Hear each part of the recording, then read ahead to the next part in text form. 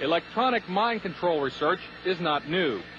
A scientific milestone in this area came in the 1960s when Dr. Jose Delgado demonstrated remote control over a charging bull.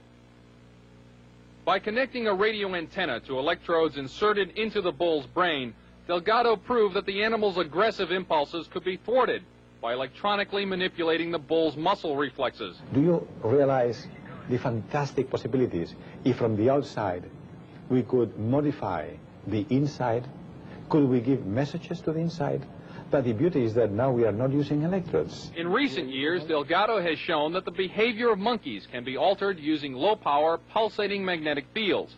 But in these experiments, there were no antenna implants. Any function in the brain, emotions, intellect, personality, well, could be perhaps modified by this non-invasive technology. Delgado's research has so far been limited to animals.